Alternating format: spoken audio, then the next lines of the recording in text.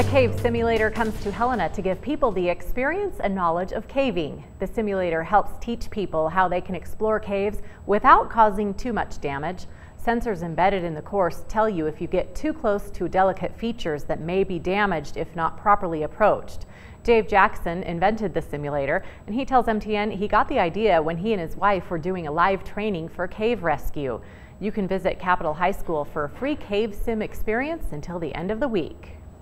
You know, we're just practicing for cave rescue. Why are we damaging the fragile, beautiful formations? So I went to MIT for electrical engineering.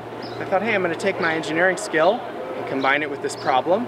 When I tried to go in, I can almost not fit in the little space. I squeezed down and went on my belly. It was fun. The Cave Sim is available for kids of all ages. Knee pads and safety helmets are supplied, and the simulator is in town as part of the National Caving Convention.